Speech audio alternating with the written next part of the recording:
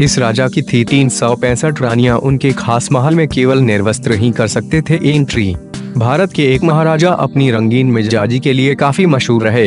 इस रंगीन मिजाजी के सच्चे किस्से आपको चौंका देंगे। हम बात कर रहे हैं पटियाला रियासत के महाराजा और पंजाब के मुख्यमंत्री कैप्टन अमरिंदर के दादा महाराजा भूपेंद्र सिंह की। पटियाला के इन महाराजा की गतिविधियों का ज़िक्र महाराजा भूपेंद्र सिंह के दीवान जर्मनी दास ने अपनी किताब महाराजा में किया है। महाराजा भूपेंद्र सिंह ने पटियाला में लीला भवन या रंगरलियों का महल बनवाया था, जहाँ केवल निर्वस्त्र लोगों को एंट्री मिलती थी। यह महल पटियाला शहर में भूपेंद्र नगर जाने वाली सड़क पर बाहरद्री बाग के करीब बना हुआ है। इस महल का ज़िक्र उनके दीवान ने महाराजा में किया है। इतिहासकारों के मुताबिक महाराजा की दस अधिकृत रानियों के समेत कुल तीन सौ पैंसठ रानियाँ थीं। इन रानियों की सुख सुविधा का महाराज पूरा ख्याल रखते थे।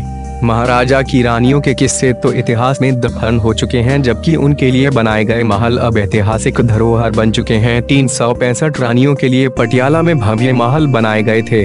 रानियों के स्वास्थ्य की जाँच के लिए चिकित्सा विशेषज्ञों की टीम भी इन महलों में ही रहती थी। उनकी इच्छा के मुताबिक उन्हें हर चीज़ मुहैया करवाई जाती थी। दीवान जर्मनी दास के मुताबिक महाराजा भूपेंद्र सिंह की दस पत्नियों से तिरासी बच्चे हुए थे जिनमें तिरपन ही जी पाए थे।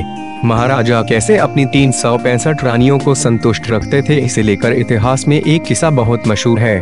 कहते हैं कि महाराजा पटियाला के महल में रोज़ाना तीन सौ पैंसठ लाल टेने जलाई जाती थीं, जिस पर उनकी तीन सौ पैंसठ रानियों में से हर रानी का हर लालटेन पर नाम लिखा होता था। जो लालटेन सुबह पहले बुझती थी, महाराजा उस लालटेन पर लिखे रानी के नाम को पढ़ते थे और फिर उसी के साथ रात गुजारते थे। महाराजा भूपिंदर सिंह का किला पटियाला शहर के बीचों बीच दस एकड़ क्षेत्र में फैला हुआ है। मुख्य महल, गेस्ट हाउस और दरबार हॉल इस किले के परिसर के प्रमुख भाग हैं। इस परिसर के बाहर दर्शनी गेट शिव मंदिर और दुकानें हैं। इन दोनों महलों को बड़ी संख्या में भीति चित्रों से सजाया गया है, जिन्हें महाराजा नरेंद्र सिंह की देखरेख में बनवाया गया था किला मुबारक के अंदर बने इन महलों में सोलह रंगे हुए और कांच से सजाए गए चेम्बर हैं। महाराजा ने महल के बाहर एक स्विमिंग पूल बनवाया पूल इतना बड़ा कि 150 मर्द औरतें एक साथ नहा सकें। यहाँ बड़ी शानदार पार्टियाँ होती थीं। पार्टियों में खुले आम रंग रलियाँ चलती थी उन पार्टियों में शरीक होने के लिए महाराजा अपनी प्रेमिकाओं को बुलाते थे वे सब महाराजा और उनके दो चार खास मेहमानों के साथ तालाब में नहाती और तैरती थीं। पटियाला पैक भी दुनिया को महाराजा भूपेंद्र सिंह की ही देन है। महाराजा भूपेंद्र सिंह के पास दो नौ सौ तीस हीरो वाला नेकलेस था, जिसमें दुनिया का सातवां सबसे बड़ा हीरा जड़ा था। इस नेकलेस का वज़न लगभग एक हज़ार कैरेट था। इस नेकलेस की कुल कीमत एक सौ छियासठ करोड़ थी।